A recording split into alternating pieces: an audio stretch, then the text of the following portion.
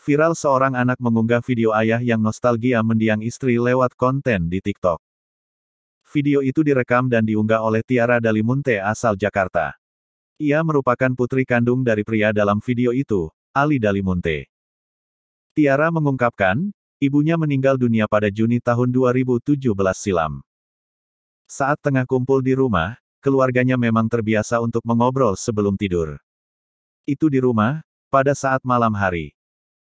Ritual setiap hari saja suka kumpul sama kakak perempuan, suka ngobrol-ngobrol sebelum tidur, ujarnya saat dihubungi Tribun News, Sabtu, tanggal 26 Juni tahun 2021.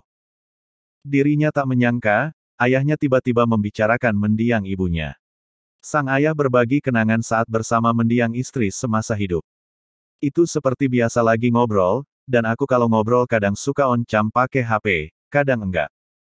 Kebetulan itu lagi on cam, dan tiba-tiba saja ayah langsung ngomongin almarhumah, ungkap Tiara. Ia mengungkapkan, ayahnya menceritakan soal pengalaman makan di tempat bakso langganan. Selain itu, ayahnya juga berbagi kisah soal mengendarai motor berdua.